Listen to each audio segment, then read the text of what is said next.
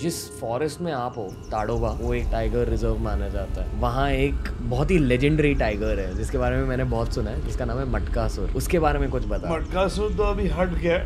अच्छा मतलब ऑफ़ हाँ। हो गया? ऑफ़ नहीं हो गया ही लेफ़्ट द कॉर टेरिटरी क्योंकि एक नया टाइगर ने उसको हकाल दिया वहाँ से। नए टाइगर का नाम क्या है? नए टाइगर का नाम है रुद्रा। वो उससे भी बड़ा है। हाँ, मतलब बड़ा नहीं बट इज़ यंगर मैंने सुना था कि ये one of the all time biggest tigers था। दैट वाज नागदो दो At one point, they used to say Ragdu was the biggest tiger in Asia, and he was a beast, like he was a monster.